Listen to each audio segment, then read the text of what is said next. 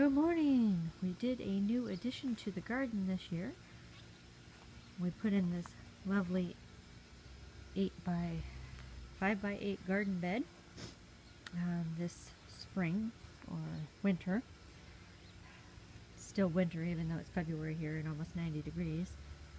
But this is what we planted. We got some broccoli growing and on the sides we did some zucchini and some spaghetti squash. They're very tiny right now. Got some butter lettuce, garlic, little carrot sprouts, and then some kale. I planted something in the middle. I can't remember what it is. Maybe a tomato plant. I don't remember. But we will keep you posted on how this starts to uh, thrive. Also put some deer netting on top to keep the kitty cats out. Stupid cats. Anyways, have a good day.